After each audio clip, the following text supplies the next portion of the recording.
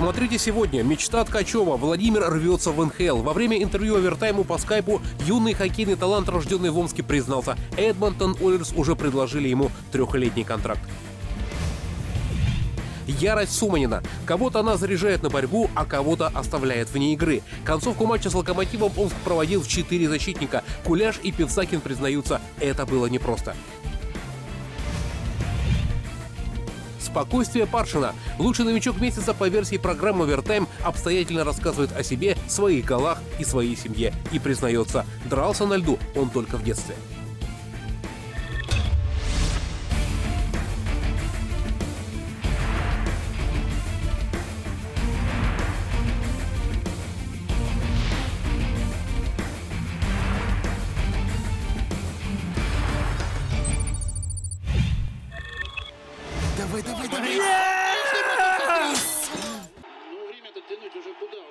Болеешь за наших?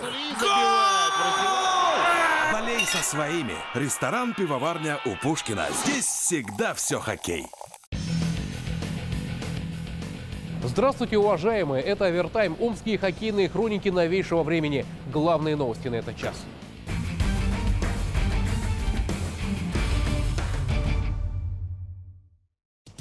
Ждем возможного обмена молодых на ветерана. Еще в пятницу Артур Лаута сделал покер за омских ястребов в Казани, а в субботу Николай Глухов вышел в основе авангарда на матч с Сочи. А уже в ближайшие часы оба этих молодых игрока могут покинуть наш клуб. По информации Овертайма, планируется обмен Глухова и Лауты в Нижний Новгород на 32-летнего защитника Вадима Хамицкого. Хамицкий мало забивает, зато хорош в силовой борьбе и блокировании бросков. Иногда они возвращаются. Анатолий Бардин вернулся в «Авангард» в неожиданном качестве. Бардин теперь будет работать главным скаутом клуба по Европе. А вот переговоры Сергея Герстонского о трудоустройстве в «Авангарде», продолжавшиеся с лета, на данный момент завершились безрезультатно. Заслуженный тренер России, воспитавший для Омска Курьянова и Пережогина, пока останется без работы в клубе.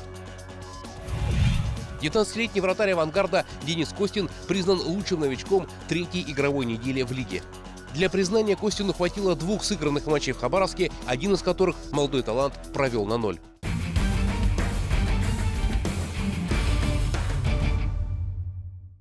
Продолжая тему молодых талантов, рожденных в Омске, поговорим с Владимиром Ткачевым и о Владимире Ткачеве. Между прочим, Владимиру Эдардовичу Ткачеву, потомственному хоккеисту, сыну вратаря и нападающему, исполняется 19 лет совсем скоро, 5 октября. О нем уже столько сказано. Его сравнивают с Сушинским, но, на мой взгляд, это такой небольшой перебор. Скорее, Ткачев напоминает микс из молодых Попова и Чистова. Руки, голова, катание. Жаль, что ни одному из трех последних главных тренеров «Авангарда» Ткачев не пригодился. Зато он сейчас зажигает за океаном. И как зажигает.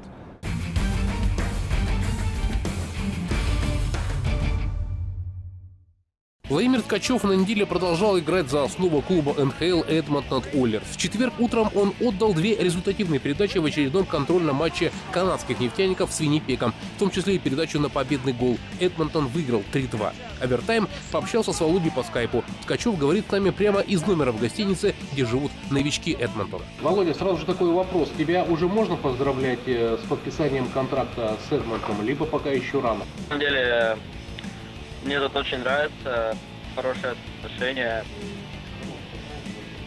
команда, игроки. Насчет контракта, да, предложили на три года. Э, Я, скорее всего, буду подписывать и буду пробиваться здесь в состав в основу. В Омске вокруг Ткачева всегда было много разговоров, но до конкретного дела, до шанса для молодого таланта сыграть толком за основу, дело по большому счету так и не дошло. За океаном все по-другому. В НХЛ э, тут ни с кем не разговариваю, э, тренера просто дают шанс.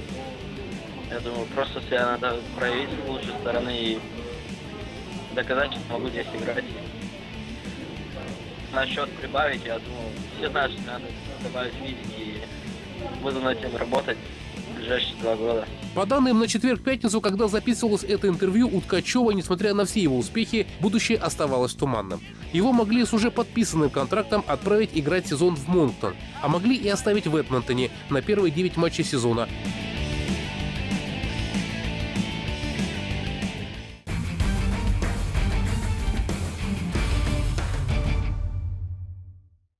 Кстати говоря, прямо сейчас Ткачев был бы как найденный у нас в Омске, здесь, во втором звене нападения, вместе с Калининым и Пережукиным, вместо Мозера, который получил травму уже в первом периоде матча с Ярославским локомотивом.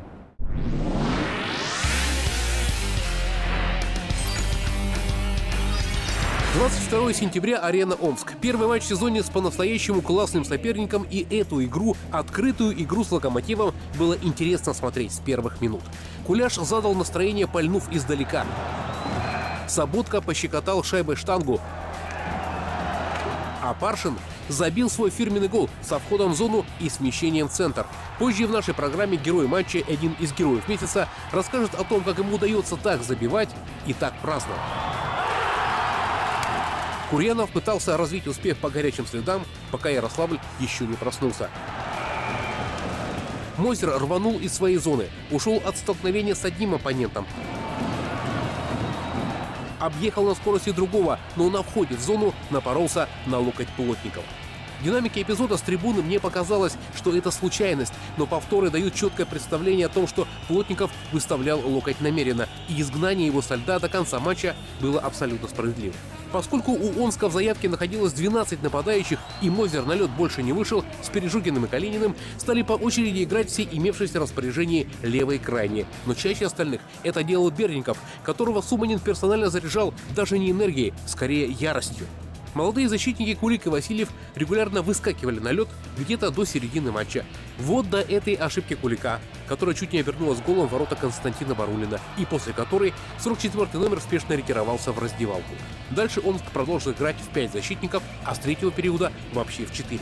К нападающим Попов выходил в третьем звене, и у этого сочетания мало что получалось. До того момента, как Александр в одной из смен оказался на площадке с Пережогиным и Ивановым, партнерами, которые понимают, как мыслит на льду на 64-й и чего он хочет. Гол Иванова на 70% заслуга Попова. 2-0. Локомотив проснулся и встал на рельсы атакующей игры в середине матча. Это сделало происходившее на площадке зрелище из просто интересного в прямо-таки захватывающее. Красивый гол Конькова 2-1. Суманин требует более коротких смен, видя, что его команда начинает подседать. Но мы пропускаем еще и от Горохова. Размашистая ярославская атака 2-2. Все приобретенное упорной работой с начала игры кажется утерянным. Но Паршин заново находит для нас лидерство в счете уже в следующей смене. Это был гол в раздевалку.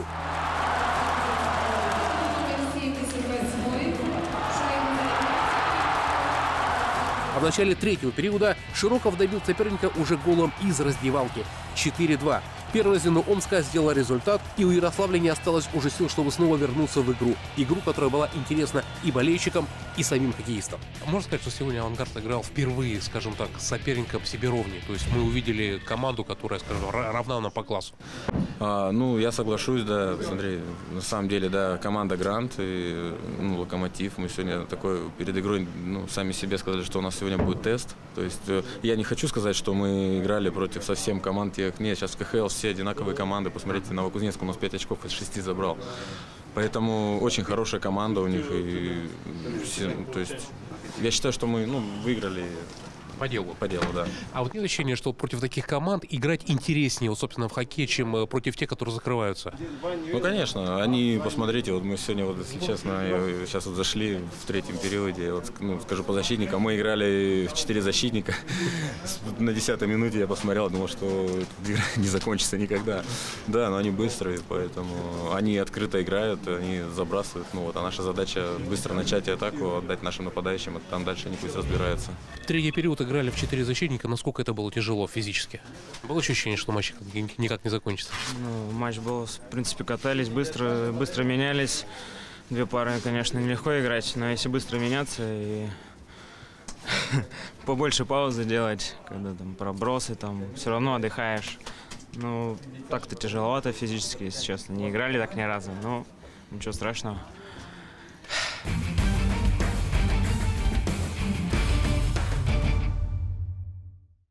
Лучший новичок «Авангарда» по итогам первого месяца сезона по версии программы «Овертайм» 28-летний нападающий Денис Паршин, мистер экспрессия на льду и мистер спокойствия в интервью.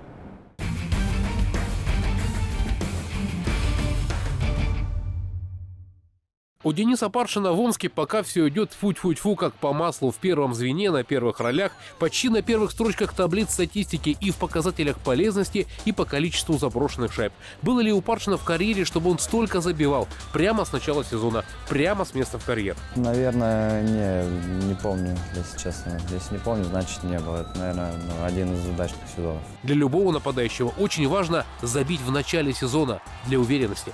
Первая зашла, и значит дальше уже процесс не остановить. В частности, у меня, да, у меня такое есть. Это чем быстрее забьешь, тем быстрее уверенность чувствуешь себе. Вот э, прилив сил. Хочется, естественно, больше забивать. По Паршину сразу видно, когда исполнение гола ему самому понравилось. Вернее, потому что Паршин делает с клюшкой после заброшенной шайбы. Наверное, кого-то увидел, только не помню, правда, у кого. И просто так само получается.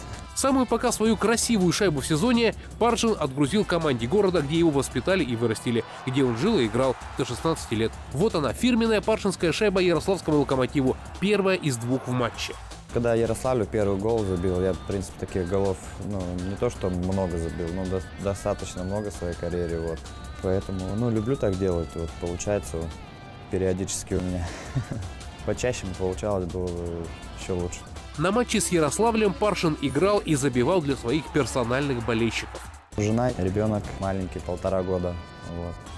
Я с Ярославлем как раз пришел на первую игру, вот, так я, я старался изо всех сил, чтобы грязь лицом перед ним не упасть, так сказать. Вот. Ну и он мне подал уверенность. Жена пришла первый раз на хоккей в Омске на чемпионат, а ребенок, в принципе, на папу пришел вообще первый раз посмотреть. Ну, вон там, вон там все, все жены сидят, ребят, и они вместе там сидят в ложе.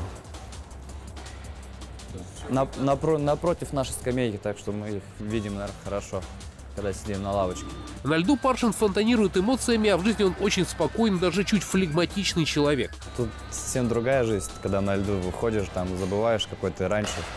Да, там уже эмоции бывают, перехлестывают. Чтобы как-то что-то сделать, надо завести себя, поэтому тяжело сказать. Вот не могу поверить, что такой спокойный человек, как вы, хотя бы раз в жизни подрался. Или все-таки было? Да не, это было давным-давно, только когда по детям играли. Там бывало часто, дети же, знаете, дерутся на льду между собой. Вот, а так э, профессионально, ну, то, что таких драк не было, стычки такие были.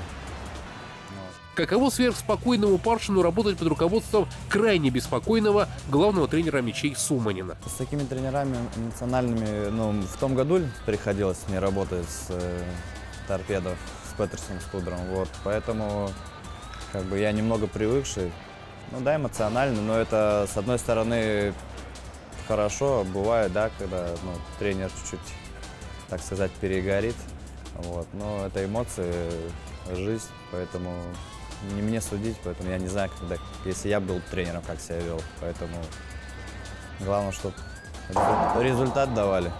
Выигрывали, забивали. Был у нас когда-то истребитель Су-33, теперь на цель заходит боевая машина пехоты П-27. 27 номер с Паршиным с детских лет. Все случайно началось в Ярославле, когда еще лет 13-14, наверное, было. Просто номера, номер какой был свободный, в принципе, такой взял.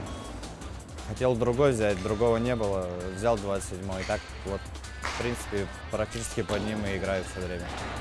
Помогает по жизни этот номер? Верите в нумерологию? Ну, как сказать. Периодически верю, периодически нет. Но так, если больше, то, наверное, больше верю. Пока лучший снайперский результат в карьере Паршина это 22 шайбы за сезон. Пора начать забивать подсчет номеру не меньше 27. Пожелаем это Денису начать делать уже с нынешнего сезона. А что он нам пожелает? Болейте за омский авангард, смотрите передачу «Овертайм». Смотрите далее в программе «Овертайм». Вы думали, что его песенка спета? А вот и нет. Самый маленький и голосистый хоккеист России, злой гений Омска в финале 2012 Михаил Анисин после серии гробки скандалов дополз до реанимации своей карьеры. И все о том, как в субботу «Авангард» завершал короткую домашнюю серию матчем с дебютантом лиги хоккейным клубом Сочи. Кто как играл и кто что говорил после встречи. Знаете ли вы, какая омская хоккейная команда и когда в советское время становилась чемпионом России?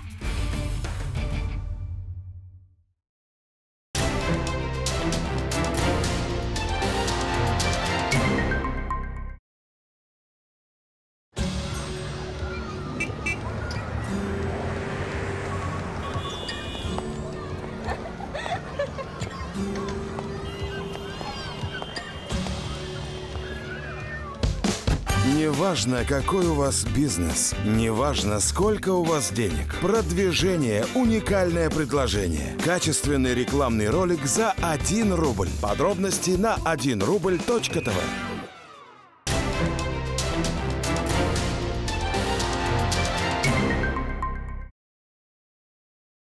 Знаете ли вы, какая омская хоккейная команда и когда в советское время становилась чемпионом России? В сезоне 1969 года омский «Локомотив» под руководством Марка Судата занял первое место в турнире команд класса «Б» и завоевал звание чемпиона Российской Федерации. Вы смотрите программу «Овертайм» и снова пришло время считать от 60 к нулю. Пришло время минуты новостей.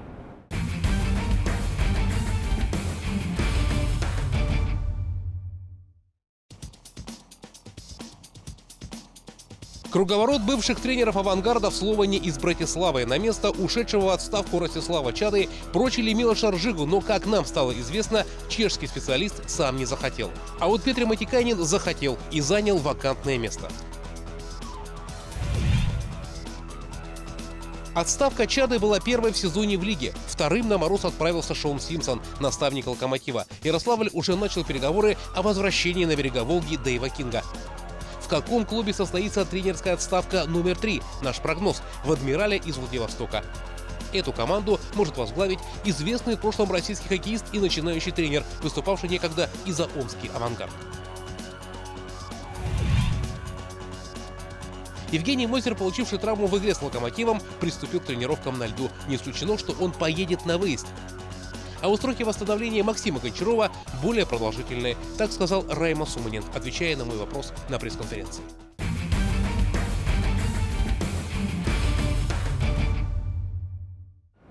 Главная звезда хоккейного новодела этого сезона клуба «Сочи» – это Михаил Анисин, хорошо всем нам знакомый. Давайте вспомним взаимоотношения мини-Миши и «Авангарда».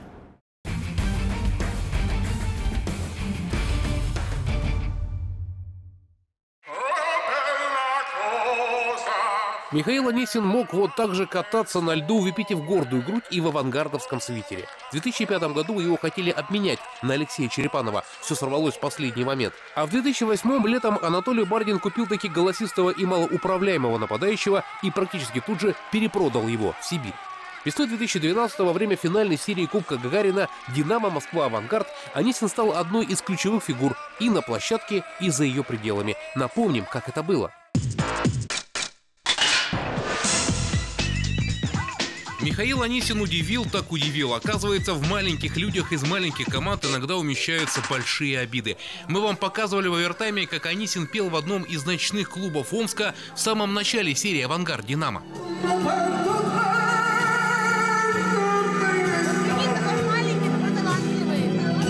После этого сольного номера, по нашим данным, на сцену вышли два болельщика «Авангарда» и исполнили песню «Голубая луна» посвятив ее и самому Михаилу, и дружному белоголубому коллективу московского «Динамо». Анисин поперхнулся апельсиновым соком и затаил обиду. И выплеснулась эта обида наружу сразу после победы «Динамо» в Кубке Гагарина под прицельным бутылочно-монетным огнем омских болельщиков. А как относитесь к тому, что вот такой вот обстрел начался? А это трибун? Да. Ну, это неуважение к нам. Деревня есть деревня. Вот тена. Тут, честно говоря, я удивился, более того, опешил. А стремительно уехавший от микрофона Миша также стремительно к нему вернулся. Он еще не договорил. Ему еще кое-что в голову пришло. Они забыли, когда они играли с Витязем, такого не, а, не было. Ну, помните, да, когда при, приезжал Чехов? Как куры сидели здесь и тряслись. Потом Михаил Анисин вернулся в Москву, сжимая в победоносной руке сырок Амичка. Потом понял, что наговорил лишнего, извинился перед адекватными, как он выразился, омскими болельщиками. Но что случилось, то случилось. Когда Анисин в следующий раз приедет в Омск, в составе какой бы то ни было команды, никто уже не будет сидеть на трибунах молчаливыми и безучастными курами. Голубая луна. Анисин взял золото с «Динамо» весной 2012 года, но после этого его карьера пошла наперекосяк. Конфликт с главным тренером Знарком, отчисление из бело-голубой команды и дальше уже по наклонной. Северсталь, Донбасс, коридоры гостиниц и больниц, где Анисин уже не пел, а устраивал жесткий перформанс. Вот так самый маленький игрок российского хоккея не дошел, а скорее дополз до курортного хоккейного клуба Сочи, где сейчас пытается реанимировать свою карьеру.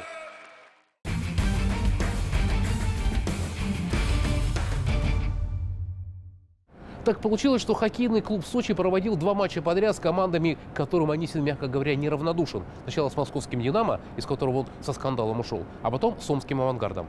На матч против бело-голубых Анисин не вышел. Всем было интересно, что произойдет в Омске.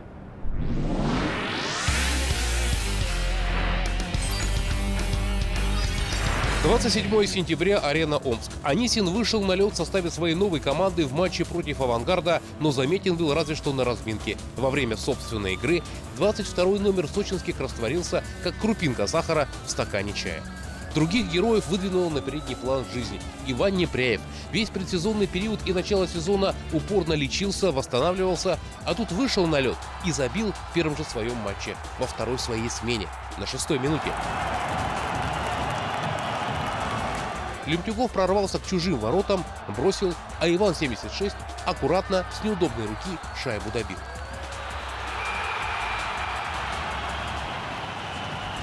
Райму Суманину очень нравится, когда шайбу в ворота вносят с мясом. Гол Иванова в середине первого периода вполне соответствует представлению главного тренера о хоккейной красоте. Он его и на послематчевой пресс-конференции особо отметил как переломный.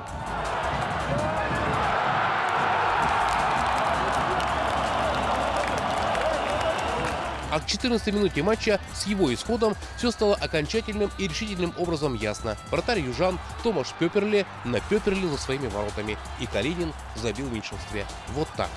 3-0.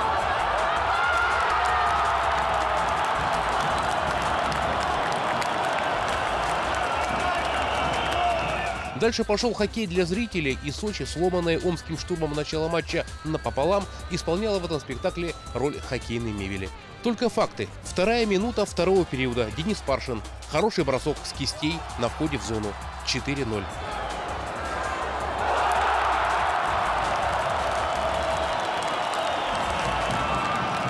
Восьмая минута второго периода. Сергей Широков. 5-0. Диджей на арене поставил песню Чайфов, и весь стадион с удовольствием хором запел «Какая боль!» и далее по тексту.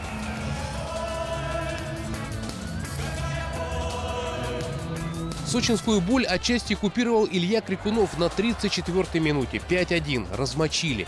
Команда Бусаева взбодрилась, заработала еще одно большинство для себя, но забили при игре в неравных составах не сочинские, а омские. Попов наконец отличился, забросив первую шайбу в сезоне после футбольно-спартаковской стеночки с Ванделем. После этого события как раз щедрый Вандель и остался последним нападающим основного состава «Авангарда», который пока не забил в этом сезоне еще ни разу. 6-1.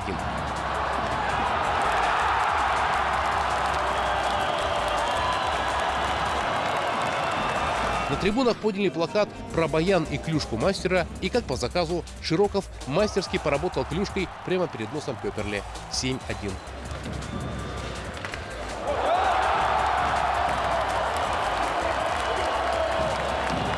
Ну и Семенов забил напоследок. Хотя сам, похоже, не бросал, а скорее набрасывал шайбу в направлении сочинских ворот в надежде на подправление. Она взяла и сама залегела, никого не задев.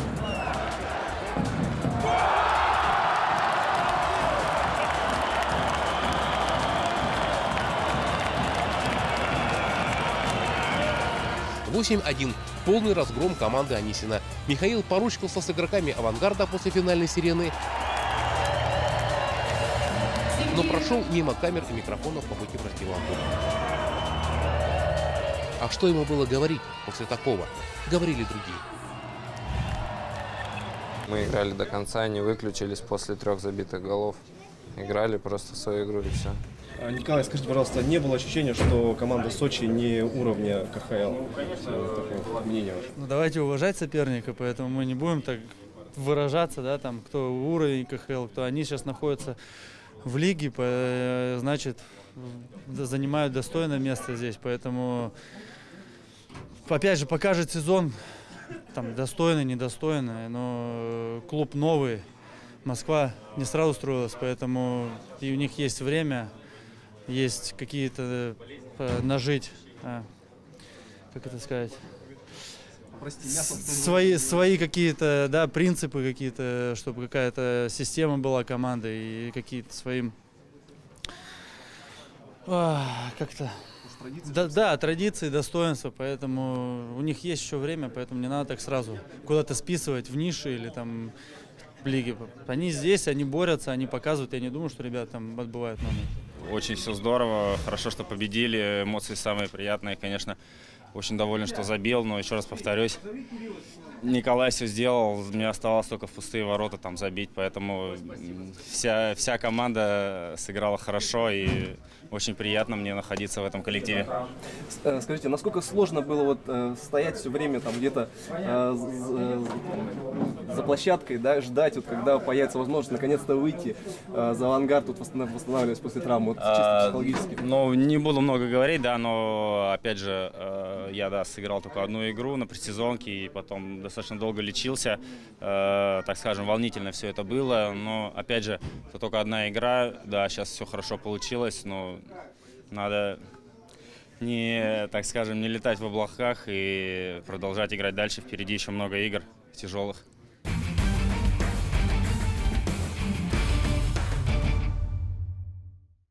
Второй месяц сезона, второй месяц хоккейной осени «Авангард» начнет на выезде. Сначала сыграем в Челябинске, потом в Ханты-Мансийске, затем в Нижнекамске. Ну а мы с вами встретимся в следующее воскресенье. И у нас будет полчаса на разговоры о хоккее. Овертайм продолжается. Давай, давай, давай! Болеешь за наших? Болей со своими. Ресторан «Пивоварня» у Пушкина. Здесь всегда все хоккей.